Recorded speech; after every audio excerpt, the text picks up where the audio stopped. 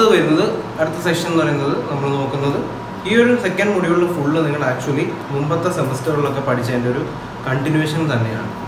ഇതിനകത്ത് മെയിനായിട്ട് നമ്മൾ പഠിക്കുന്നത് വെച്ചാൽ സ്റ്റാറ്റിക് ഡിറ്റർമിനൻസി കണ്ടുപിടിക്കുന്ന പല കേസുകൾ കൈനമാറ്റിക് ഡിറ്റർമിനൻസി കണ്ടുപിടിക്കുന്ന കാര്യങ്ങളൊക്കെ തന്നെയാണ്.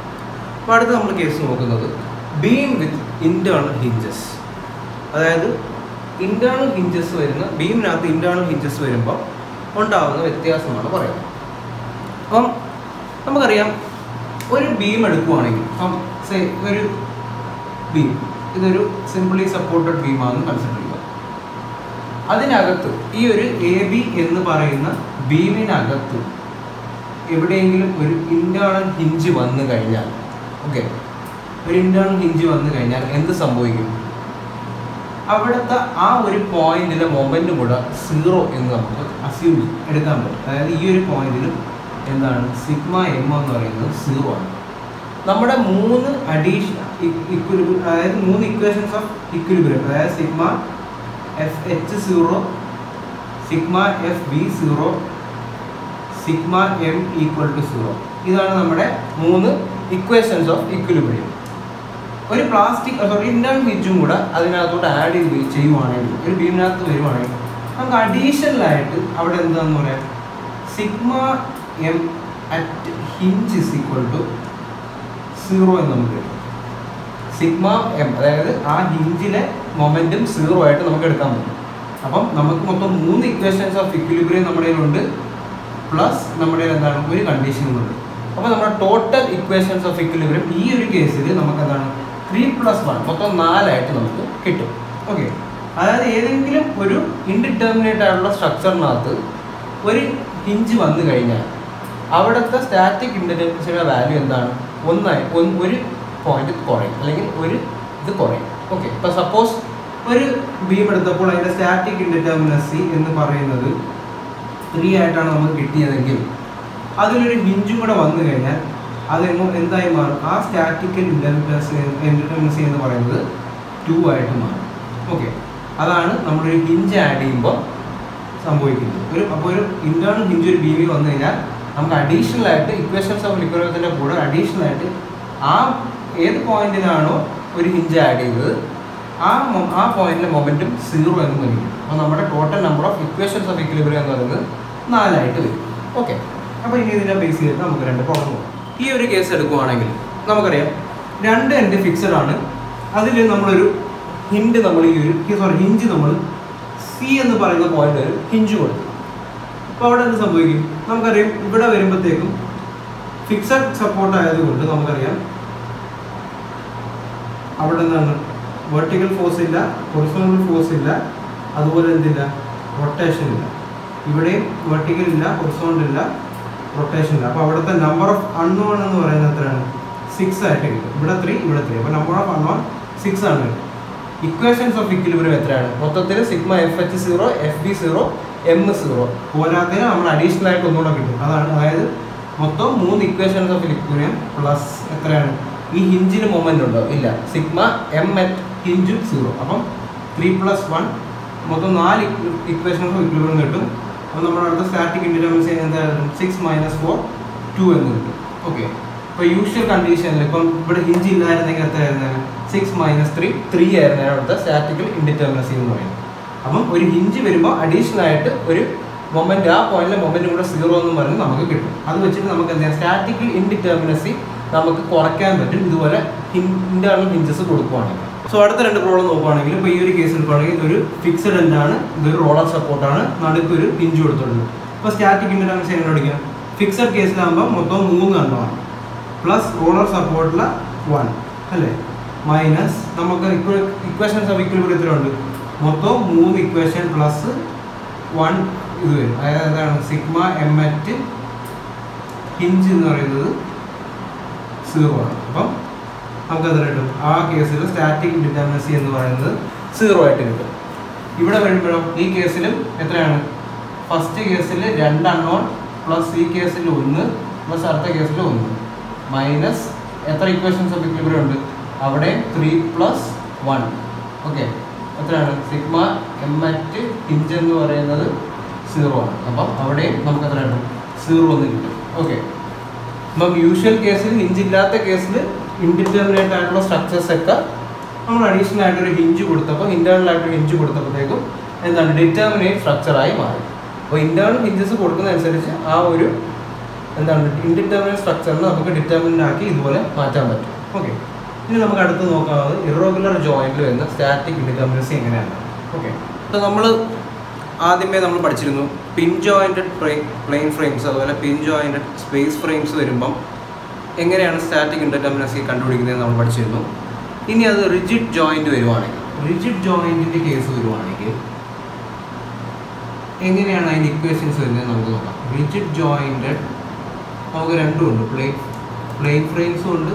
അതുപോലെ സ്പേസ് ഫ്രെയിംസും ഉണ്ട് റിജിഡ് ജോയിന്റഡ് വരുവാണെങ്കിൽ പ്ലെയിൻ ഫ്രെയിംസിന്റെ കേസിൽ നമുക്ക് അതിന്റെ സ്റ്റാറ്റിക് ഇൻഡിറ്റർമിനസി എന്ന് പറയുന്നത് മറ്റേതാ നമ്മൾ പഠിച്ച M plus R minus two G എന്ന്. ഇവിടെ പ്ലെയിൻ ഫ്രെയിംസ് റിജിഡ് ജോയിന്റഡ് ആയിട്ട് നമുക്ക് ഇവിടെ അറിയാം. Three M plus R minus three J എന്നാണ് ഇക്വേഷൻ വരുന്നത്. ഓക്കെ നമ്മൾ ആദ്യം പഠിച്ച പിൻ ജോയിന്റഡ് ആണെങ്കിലും അതിനകത്ത് നിങ്ങൾക്ക് ഓർമ്മയുണ്ടാവും പ്ലെയിൻ ഫ്രെയിംസിൽ നിന്ന് M plus R minus two G ആയിരുന്നു. ഇവിടെ വരുമ്പോഴത്തേക്കും പ്ലെയിൻ ഫ്രെയിംസ് റിജിഡ് ജോയിന്റെ കേസിൽ എപ്പോഴും ഓർത്തിരിക്കണം. ഇക്വേഷൻസ് എല്ലാം നിങ്ങൾ ഓർത്തിരിക്കണം. എങ്കിൽ മാത്രമേ നമുക്ക് ഇതിനകത്തുള്ള പ്രോബ്ലം ചെയ്യാൻ പറ്റുള്ളൂ. കാരണം നിങ്ങൾ മുമ്പത്തെ സെമിസ്റ്ററിലും ഇത് പഠിച്ചിട്ടുള്ളതാണ്. അതിന്റെ ഒരു ചെറിയൊരു കണ്ടിന്യൂവേഷൻ മാത്രമാണ് ഇതിൽ വരുന്നത്.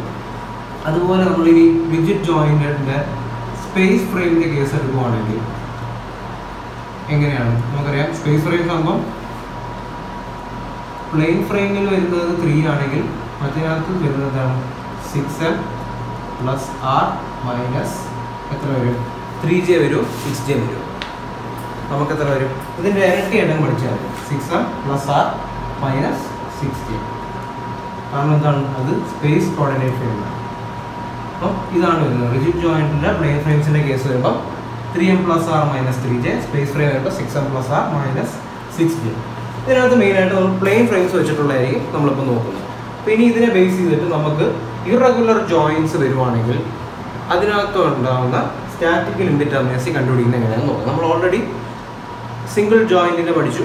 അപ്പോൾ ഇനി ഇറഗുലർ ജോയിന്റ് വരുവാണെങ്കിൽ അതിനകത്ത് വരുന്ന സ്റ്റാറ്റിക്കൽ ഇൻഡിറ്റർമിനസി വരുന്ന എങ്ങനെയാണെന്ന് നമുക്ക് നോക്കാം. അപ്പോൾ അതിനകത്ത് നമ്മൾ മെയിനായിട്ട് യൂസ് ചെയ്തത് ഈ ഒരു ഇക്വേഷനാണ് ഓക്കെ അപ്പോൾ അടുത്ത് നമ്മൾ പഠിക്കാൻ പോകുന്നത് ഇറഗുലർ ജോയിന്റിൽ വരുന്ന statical ഇൻഡിറ്റർമിനസിയാണ് statical indeterminacy of irregular joints അപ്പോൾ അതിന്റെ ഇക്വേഷൻ ആണ് നമ്മൾ നേരത്തെ പറഞ്ഞത്.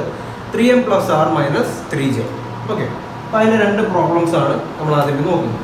ഓക്കെ ഈ ഒരു ഫ്രെയിം നമുക്ക് കൺസിഡർ ചെയ്യാം. നമുക്ക് വേണ്ട ടേംസ് എന്ന് പറഞ്ഞാൽ എം വേണം ആറ് വേണം അതുപോലെ ജോയിൻസ് എത്രയാണ് വേണം. ഓക്കെ ഇവിടെ എത്ര മെമ്പേഴ്സ് ഉണ്ട്? ഒന്ന് രണ്ട് മൊത്തം മൂന്ന് മെമ്പേഴ്സാണ് ആണ്. ഒന്ന് രണ്ട് മൂന്ന്. ജോയിൻസും എടുക്കും. ഒന്ന് രണ്ട് മൂന്ന് നാല് ജോയിൻസ് ആണ് നമുക്ക്. ഓക്കെ ആണല്ലോ. ഇനി റിയാക്ഷൻസ് എത്ര റിയാക്ഷൻസ് ഉണ്ടെന്ന് ഫിക്സഡ് ആയതുകൊണ്ട് നമുക്കറിയാം മൊത്തം മൂന്ന് റിയാക്ഷൻ ഫോഴ്സ് ആണ് അവിടെ വരുന്നത്. എത്രയാണ്? ഹൊറിസോണ്ടൽ വെർട്ടിക്കൽ മൊമെന്റ് മൂന്ന് രീതിയിൽ റിസ്ട്രെയിൻ ആണ്.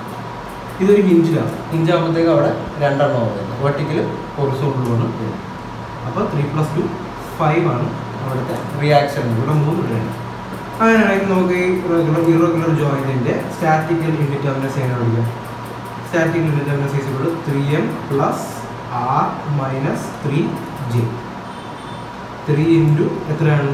Number three plus R five minus three into four okay nine plus five fourteen fourteen minus twelve two അപ്പോൾ ഇവിടുത്തെ സ്റ്റാറ്റിക് സൈൻ എന്ന് പറയുന്നത് നമുക്ക് കിട്ടുന്നത് ടു ആണ്. ഓക്കെ ആണല്ലോ. വേറെ കൺഫ്യൂഷൻ ഒന്നുമില്ല. ജസ്റ്റ് കറക്റ്റ് നമുക്കറിയാം. ആ മെമ്പർ എത്ര ഉണ്ടെന്ന് നോക്കുക. റിയാക്ഷൻ എത്ര വരുമെന്ന് നോക്കുക. അതുപോലെ ജോയിൻസ് എത്രയാണെന്ന് നോക്കുക. അടുത്ത ക്വസ്റ്റ്യൻ നോക്കാം. അടുത്ത ക്വസ്റ്റ്യൻ നോക്കുമ്പോഴത്തേക്കും ഇതിലും നമുക്ക് വേണ്ടത് നമ്മൾ ഇക്വേഷനെ ബേസ് ചെയ്ത് നമ്മൾ ആദ്യമേ ഇങ്ങനൊരു വേണ്ട കാര്യങ്ങൾ നമ്മൾ ഇതുവരെ നോട്ട് ചെയ്യണം. ഇവിടെയും നമുക്ക് ആദ്യം വേണ്ടത് മെമ്പേഴ്സ് എത്രയാണെന്നാണ് നമുക്ക് വേണ്ടത്. അപ്പം ഒന്ന് രണ്ട് മൂന്ന് നാല് അഞ്ച് മെമ്പറാണ് ഒന്ന് രണ്ട് മൂന്ന് നാല് അഞ്ച് മെമ്പർ ജോയിൻസ് ആണെങ്കിൽ ഒന്ന് രണ്ട് മൂന്ന് നാല് അഞ്ച് ആറ് ജോയിൻസ് ആണ്. റിയാക്ഷൻ ഫോഴ്സ് ആണെങ്കിലും സെയിം അല്ലേ വരുന്നത്? ഇവിടെ മൂന്ന് ഇവിടെ ഓൾറെഡി അതും ഇഞ്ചിഡ് ആയതുകൊണ്ട് അവിടെ രണ്ട് മൊത്തം അഞ്ചാണ് അപ്പോഴത്തേക്കും നമ്മുടെ സ്റ്റാറ്റിക്കൽ ഇൻഡിറ്റർമിനസി എന്ന് പറയുന്നത് three M plus R minus three J അപ്പം ത്രീ ഇന്റു മെമ്പർ എത്രയാണ്? Five plus reaction force five minus three into six Okay. Fifteen plus five twenty twenty minus എത്ര വരും? എയ്റ്റീൻ അവിടെ സ്റ്റാറ്റിക്കൽ ഇൻഡിറ്റർമിനസി എന്ന് പറയുന്നത് ടു ആണ്. ഓക്കെ അപ്പോൾ നമുക്ക് ഇക്വേഷൻ അറിയാമെങ്കിൽ ഇതുപോലെ ഈസി ആയിട്ട് ഏതൊരു പ്രോബ്ലം വന്നാലും നമുക്ക് ചെയ്യാൻ പറ്റും. ഇതിൽ ബേസിക്കലി ഒന്നുമില്ല. ഒരു ഞാൻ ഫസ്റ്റ് വീഡിയോയിൽ പറഞ്ഞ പോലെ ബേസിക്കലി ഒരു എന്താണ് ഒരു സെറും മാത്തമാറ്റിക്സ് മാത്രമാണ് നമ്മളിവിടെ യൂസ് ചെയ്യുന്നത്. ഇക്വേഷൻ ഉണ്ടെങ്കിൽ വെറും സിമ്പിൾ മാത്തമാറ്റിക്സ് ആണ് യൂസ് ചെയ്യുന്നത്. നിങ്ങൾക്ക് ടൈപ്പ് ഓഫ് സപ്പോർട്ടും അതിൽ വരുന്ന റിയാക്ഷൻസും കറക്റ്റായിട്ട് അറിഞ്ഞിരുന്നാൽ നമുക്ക് ഏതൊരു പ്രോബ്ലം കിട്ടിയാലും ചെയ്യാൻ പറ്റും. ഇതുപോലെ ഇക്വേഷൻസ് അറിഞ്ഞിരിക്കണം അപ്പോൾ അടുത്ത രണ്ട് ക്വസ്റ്റ്യൻ നോക്കുവാണെങ്കിൽ നമ്മൾ ഇങ്ങനത്തെ ഒരു ഫിഗർ ഒന്നും കണ്ട് പേടിക്കേണ്ട കാര്യമില്ല. നമുക്ക് ബേസിക്കലി ഇക്വേഷനകത്ത് വേണ്ട കാര്യങ്ങൾ എന്താണെന്ന് മാത്രം നമ്മൾ നോട്ട് ചെയ്താൽ മതി. ഫിഗർ ചിലപ്പോൾ ഒത്തിരി ട്വിസ്റ്റ് ചെയ്തും അല്ലെങ്കിൽ ഒത്തിരി കോംപ്ലിക്കേറ്റഡ് ആയിട്ടൊക്കെ തരും. പക്ഷേ അത് നിങ്ങൾ ടെൻഷൻ അടിക്കേണ്ട കാര്യമില്ല. നമുക്ക് അതിനകത്ത് വരുന്ന മെയിനായിട്ട് നിങ്ങൾക്ക് എന്ത് ടൈപ്പ് സപ്പോർട്ടാണോ അതിനകത്ത് എത്ര റിയാക്ഷൻ ഫോഴ്സസ് വരും. എത്ര മെമ്പേഴ്സ് ഉണ്ട് എത്ര ജോയിൻസ് ഉണ്ട്. ആ മെമ്പേഴ്സും ജോയിൻസും എടുക്കുമ്പോൾ നിങ്ങൾ തെറ്റിപ്പോയിരുന്നാൽ മാത്രം മതി. അല്ലാതെ ഇപ്പം ട്വിസ്റ്റഡ് ആയിട്ടോ അല്ലെങ്കിൽ എന്താണ് ഒരു ഇറഗുലർ ആയിട്ടുള്ള ജോയിൻസ് ഇപ്പം ഇറഗുലർ ജോയിൻസ് എന്ന് പറയുമ്പോൾ തന്നെ ഒരിക്കലും നിങ്ങൾ എന്താണ് ഒരു പക്ക നല്ലൊരു ഫിഗർ ആയിരിക്കത്തില്ല പ്രതീക്ഷിക്കുന്നത് പോലെ ട്വിസ്റ്റഡ് ആയിട്ടുള്ള കാര്യം തെറ്റുക അപ്പം ഈ ഒരു കേസ് ഇല്ല ഇവിടെയും എന്താണ്? എം വേണം ആറ് വേണം അതുപോലെ ജോയിന്റും വേണം. ഓക്കെ ഈ ഒരു കേസ് എടുക്കുമ്പോൾ നമുക്ക് എത്ര മെമ്പർ ഉണ്ട്? ഇവിടെ സ്റ്റാർട്ട് ചെയ്യാം. ഒന്ന് രണ്ട് മൂന്ന് നാല് അഞ്ച് മെമ്പേഴ്സ് ആണ്. ഓക്കെ ഒന്ന് രണ്ട് മൂന്ന് നാല് അഞ്ച് മെമ്പേഴ്സ് റിയാക്ഷൻ ഇവിടെ എത്ര വരും? ഫിക്സഡ് ആയിട്ട് മൂന്ന് വരും. രണ്ട് ഫിക്സഡ് ആകുമ്പോൾ തന്നെ മൂന്ന് മൂന്നും ആറെണ്ണം വരും. ഇവിടെ മൂന്ന് വരും ഇവിടെ മൂന്ന് വരും ആറ്. അടുത്ത എന്താണ്? ഇത് ഹിഞ്ചഡ് ആണ്. അവിടെ വരും? രണ്ടെണ്ണം വരും. അപ്പം രണ്ട് ഹിഞ്ചഡ് ഉണ്ട്. അപ്പം അവിടെ ഇത് മൂന്ന് മൂന്ന് ആറ് രണ്ട് എട്ട്. ഇവിടെ വരുമ്പോഴത്തേക്ക് മൊത്തം പത്ത് റിയാക്ഷൻ എണ്ണം അവിടെ വരുന്നത്. റിയാക്റ്റീവ് ഫോഴ്സ് പത്തെണ്ണം ഇനി ജോയിൻസ് എടുക്കാം. ഈ അറ്റത്ത് സ്റ്റാർട്ട് ചെയ്യാം. ഒന്ന് രണ്ട് മൂന്ന്. നാല് അഞ്ച് ആറ്. ആറ് ജോയിൻസ് ആണ് നമുക്കുള്ളത്. ഒന്ന് നോക്കാം. ഒന്ന് രണ്ട് മൂന്ന് നാല് അഞ്ച് ആറ്. ജോയിൻസ് എടുക്കുമ്പോഴും മെമ്പേഴ്സ് എടുക്കുമ്പോഴും നിങ്ങൾ കൃത്യമായിട്ട് എടുക്കണം അതിൽ തെറ്റിപ്പോയി കഴിഞ്ഞാൽ നമ്മൾ ആൻസർ കിട്ടും ഓക്കെ അപ്പോൾ ഇതിന്റെ സ്റ്റാറ്റിക് ഇൻഡിറ്റർമിനൻസ് എങ്ങനെ എഴുതാം? ത്രീ ആണ്. Three into five plus reaction എത്രയാണ്? പത്താണ്. മൈനസ് ത്രീ ഇന്റു എത്രയാണ്? സിക്സ് അപ്പം fifteen plus ten minus eighteen twenty five minus eighteen seven എന്ന് കിട്ടും. അല്ലേ? സ്റ്റാറ്റിക് ഇൻഡിറ്റർമിനൻസി എന്ന് പറയുന്നത് സെവൻ ആയിട്ട് കിട്ടും. Fifteen plus ten twenty five twenty five minus eighteen seven എന്ന് കിട്ടും. ഓക്കെ അപ്പം ഈ ഒരു ഫിഗറിന് ഇൻഡി സ്റ്റാറ്റിക് ചെയ്യും. അടുത്തൊരു ഫിഗർ ഇടാം. ഇവിടെ നമുക്ക് എന്താണ്? നമുക്ക് വേണ്ട ഇത്രയുള്ളൂ നമ്മൾ എങ്ങനെയൊക്കെ ഇൻറോഗുലർ ആയിട്ട് തന്നാലും നമ്മൾ അതിനകത്ത് നിന്ന് റിയാക്ഷനും മെമ്പേഴ്സും ജോയിൻസ് കണ്ടുപിടിക്കണം. ഇവിടെ മെമ്പേഴ്സ് എടുക്കുമ്പോൾ എങ്ങനെ വരും? ഒന്ന് രണ്ട് മൂന്ന് നാല് അഞ്ച് ആറ് ഏഴ് എട്ട് ഒമ്പത് മെമ്പറാണ് വരുന്നത് അല്ലേ? ഒന്ന് രണ്ട് മൂന്ന് നാല് അഞ്ച് ആറ് ഏഴ് എട്ട് ഒമ്പത് മെമ്പറാണ് ഇനി റിയാക്ഷൻ വരുമ്പോഴത്തേക്ക് ഇങ്ങനെ ഓക്കെ എല്ലാം ഫിക്സഡ് ആണ്. അപ്പം എല്ലാത്തിനകത്തും മൂന്ന് സപ്പോർട്ട് റിയാക്ഷൻ ആണ് വരുന്നത്. അപ്പോൾ ഒന്ന് രണ്ട് മൂന്ന് നാല് അഞ്ച്. അപ്പോൾ ആ റിയാക്ഷൻ എത്ര വരും? പതിനഞ്ചെണ്ണം വരും. അല്ലേ? മൊത്തം ഫിക്സഡ് കണ്ടീഷൻ ആയതുകൊണ്ട് മൂന്ന് അൺനോൺ ആണ് വരുന്നത്. അൺനോൺ റിയാക്ഷൻസ് ആണ് വരുന്നത്. അപ്പം മൊത്തം അഞ്ച് അങ്ങനത്തെ ഫിക്സഡ് ജോയിൻസ് ആണ്. ഒന്ന് രണ്ട് മൂന്ന് നാല് അഞ്ച് പതിനഞ്ച്. ഇനി ജോയിൻസ് ജോയിൻസ് എടുക്കുമ്പോൾ ഇങ്ങനത്തെ കേസുകളിൽ കുറച്ച് നമ്മൾ എണ്ണി എടുക്കും അപ്പോൾ ഒന്ന് രണ്ട് മൂന്ന് നാല് അഞ്ച് ആറ് ഏഴ് എട്ട് ഒമ്പത് പത്ത് ജോയിൻസ് ആണ്. അല്ലേ? ഒന്ന് നോക്കിയാൽ ഒന്ന് രണ്ട് മൂന്ന് നാല് അഞ്ച് ആറ് ഏഴ് എട്ട് ഒമ്പത് പത്ത് ജോയിൻ ആണ്. ആണ് സ്റ്റാറ്റിക് ഇൻഡിപെൻഡൻസ് എങ്ങനെ എഴുതാം. Three into nine plus fifteen minus three into ten okay three into nine എത്രയാണ്? Twenty seven plus fifteen minus thirty ചെയ്യുമ്പോൾ എത്ര കിട്ടും നമുക്ക്? Twenty seven plus fifteen minus thirty ഇപ്പോൾ twenty seven plus fifteen minus thirty എന്ന് പറയുമ്പോൾ നമ്മുടെ answer twelve ആയിട്ട് നമുക്ക് കിട്ടും. ഓക്കെ അപ്പോൾ സ്റ്റാറ്റിക് ഡിറ്റർമിനൻസി എന്ന് പറയുന്നത് ട്വൽവ് ആണ്. സോ അപ്പോൾ ഇതാണ് ഇറഗുലർ ജോയിൻസ് വരുമ്പോൾ നമ്മൾ എങ്ങനെയാണ് സ്റ്റാറ്റിക്കൽ ഇൻഡിറ്റർമിനൻസി കണ്ടുപിടിക്കുന്നതെന്ന് നമ്മൾ നോക്കിയത്. ബേസിക്കലി ഒന്നുമില്ല. അതിനകത്ത് എന്താണ് ആ ഇക്വേഷൻ ഇട്ട് കൊടുത്തു കഴിഞ്ഞാൽ എത്ര ഇനി എന്തൊക്കെ ഇറഗുലർ ആയിട്ട് വന്ന ഫിഗർ ആണെങ്കിൽ നമുക്ക് സോൾവ് ചെയ്യാൻ പറ്റും. ഓക്കെ